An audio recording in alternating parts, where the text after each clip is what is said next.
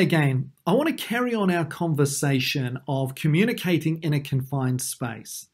Now, we've looked at it in a sort of broad brushstroke kind of way, some broad principles of how to communicate well when you're in that confined space and tensions are rising.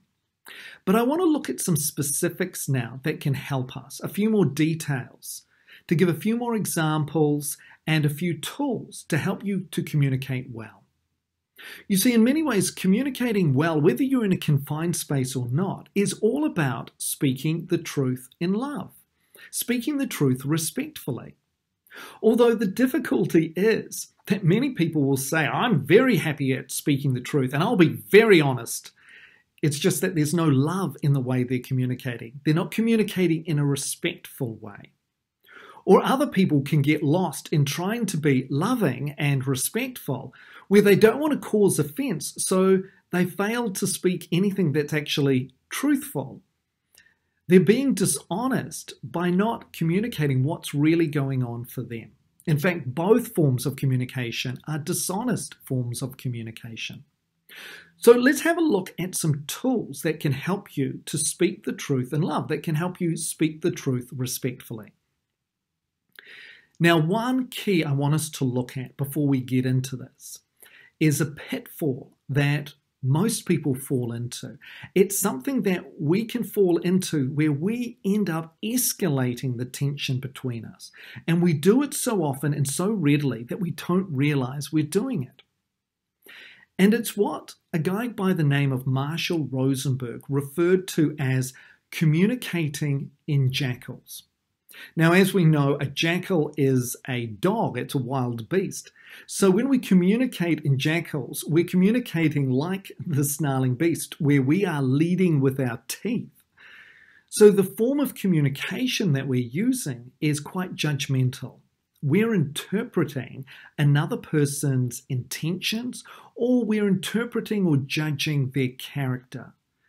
And what we find is this just starts another argument. You see, it was Stephen Covey who said we tend to judge ourselves by our intentions, but other people by their actions. Now, I think he's mostly right. I would say that we tend to judge ourselves by our intentions, but we judge others by our interpretation of their actions. And so, what these, these jackals, these interpretations look like is where we might say, You're selfish, you're lazy, you're insensitive, you're uncaring. You don't care about me. You're, you're rejecting me. You're not listening to me. Or the classics, you always and you never. And you see, these are forms of jackals where we are judging or we're interpreting another person's intentions or their characters. And this tends to start another argument, or at least it escalates the current one. So if a person said, You've left all these dishes out overnight, you're obviously just so lazy, you don't care about me at all, you just want me to be your slave. Well, we have a number of jackals there. When the person is labeled as being lazy, that they don't care about me, and you want me you want to, me to be your slave. All of those are jackals. And you see, what they will end up doing usually is starting a second argument. A second argument about whether uh, that person thinks they really are lazy. Hey, I'm not lazy. Yeah, I left these out overnight, but I do so much around the house. A second argument about whether I really care about you. Yeah, of course I care about you. Yeah, I left dishes out, but that doesn't mean I don't care about you. Look at the way I love you. I always tell you I love you or I do these other things. Or that I actually want you to be my slave. Why would you ever think that? I never said that. I'm not saying that. So you're all wrong. And so we start a second argument and we just escalate things. So it's important to get our head out of assuming the way another person is being, of what they mean by that.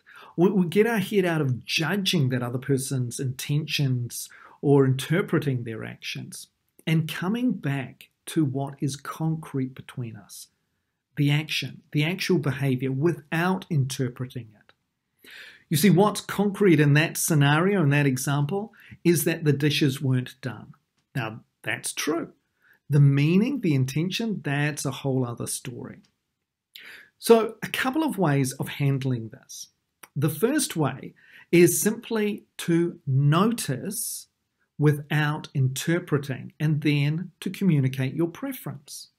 So you might say, Hey, I noticed that the dishes were left out, or the dishes weren't done, or the dishes were left on the bench. That's just a noticing, especially when you do it in a matter of fact kind of way. There isn't intention, uh, in, sorry, there isn't intensity in your voice. I noticed that the dishes were left out.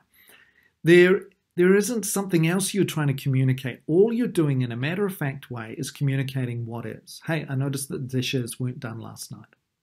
And then you communicate your preference.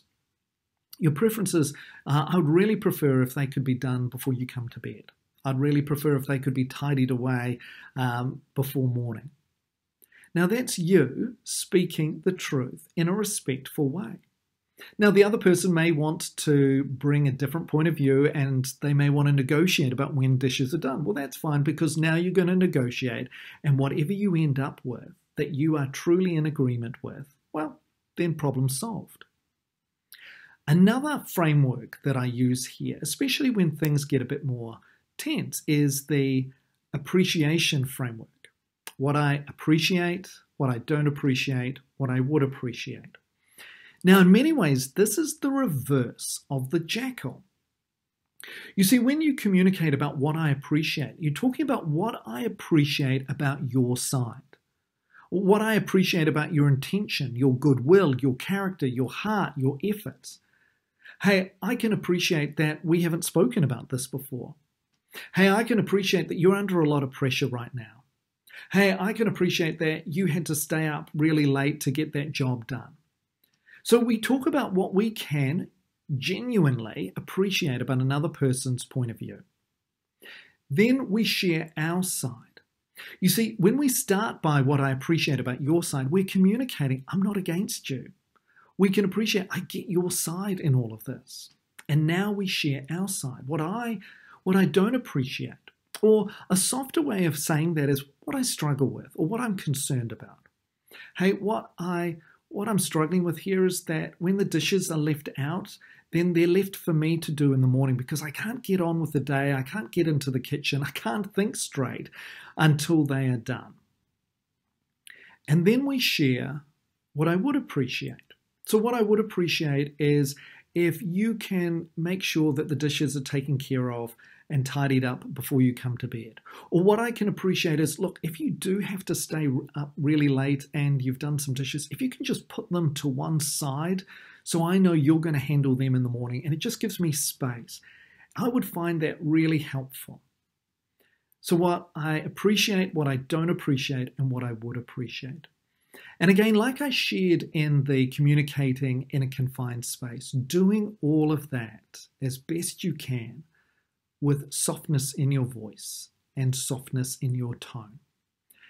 And so, if you try to speak with soft eyes, it will usually mean that your voice responds and speaks softly as well. But you may need to take some deep, slow breaths to get your tone just right. And then describe what you're seeing. Don't interpret it. Come back from the jackals, they only escalate the situation and share what you prefer. Or communicate that you're for the other person with what you appreciate, what you what you don't appreciate or what you're struggling with, and what you would appreciate. As you practice that, and it does take practice, you usually find that you can communicate far more effectively, far more well, whether you're in a confined space or not.